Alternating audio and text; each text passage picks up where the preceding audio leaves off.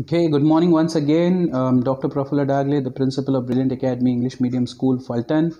Uh, tomorrow you have your examinations. Now we have just covered almost uh, three parts of our video and we have discussed about the writing skills. In the writing skills, again, the most important topic is about the views and the counter views the views and counter views are something where it is all about your logical thinking your creativity it could be about your own argument about a particular topic your own opinions your own views your own analysis as to how do you visualize a particular thing how do you analyze it?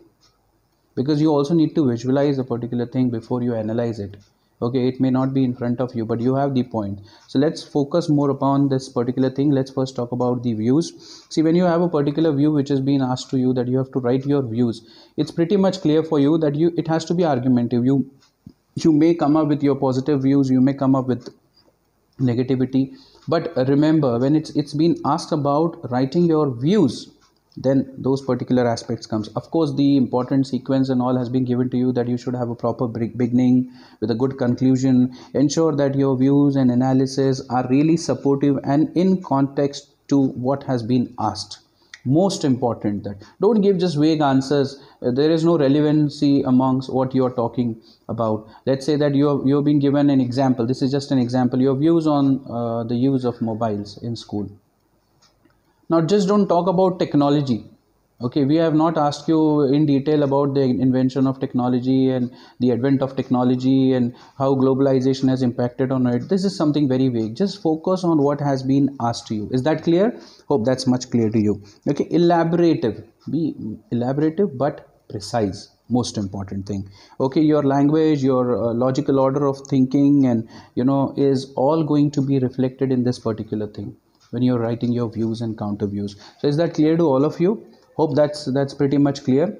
Now we're just going to talk about the counter views. Just focus that you've been given certain points and you're told or you are being informed in your question paper. This is an example to write based on the views given write your counter views. Now it's it's very clear that you have to write your counter views and you have been given a particular topic.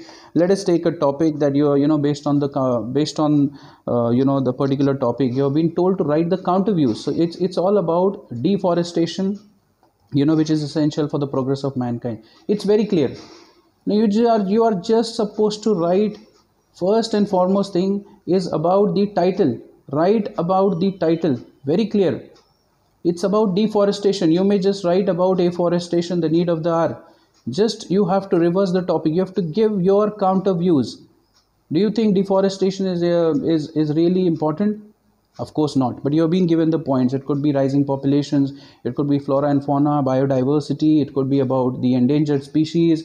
It could be about global warming. There could be so many things children. Now you have to analyze and take the points out of which has been already given do you think that deforestation is really the need of the hour and uh, you know uh, for rising population and all we need to just cut down the trees and uh, have building constructions? Of course not. So what you're going to do the first thing is to write the title. The title would be in your form. You may write deforestation question mark certainly not exclamation or exclamatory mark or you may write afforestation the need of the hour. And you may go ahead with your views is that clear? So this is something which is extremely extremely important for you. Very simple very scoring but you just need to read it and understand. So these steps are certainly certainly going to be, be, beneficial to you for your examinations. And that's the only reason that i'm making the video for you so that you understand. It's not possible for you to uh, you know meet me and interact with me so therefore this uh, particular video is uh, made so that you are pretty much clear before your examination. Thank you so much. Hope you understand this.